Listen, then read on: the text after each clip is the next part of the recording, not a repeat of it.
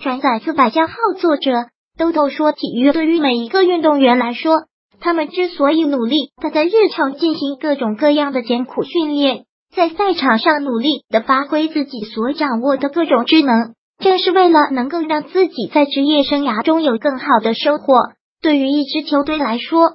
当运动员能够在赛场上发挥有效的作用，才能真正让球队站到巅峰。无论是对运动员还是对球队来说，运动员在赛场上或者在训练场上受伤，都是一种非常致命的打击。尤其是一些比较优秀的运动员，他的一旦身体受伤，对整支球队的影响都是非常重大的。最近，中国男篮就接连出现运动员受伤的情况。在前不久，刚刚被爆料出的赵继伟在比赛过程中导致了骨折，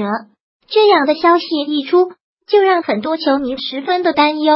同时，球队也非常注重球员受伤的问题，因为这些运动员他们都在积极备战，为接下来即将举行的各大盛事做准备。而且，他们距离下一季的 CBA 联赛也没有太多时间了。因此，一旦球员受伤的话，对接下来的每一场比赛都有很大的影响。然而，在这些球队不断要求运动员在比赛场上尽可能的避免伤病问题的时候，却依然不断传来不好的消息。先是在与克罗地亚的对决中，来自于辽宁男篮的刘志轩出现了脚踝受伤的问题，随后小丁也在比赛赛场上因为发生了扭伤，不得不离开赛场进行治疗。在面对这些运动员接连二连三的受伤时，很多球迷都非常的不解，为什么中国男篮变得如此脆弱呢？要知道，即将面临的这场盛世，对于运动员的要求也是很高的。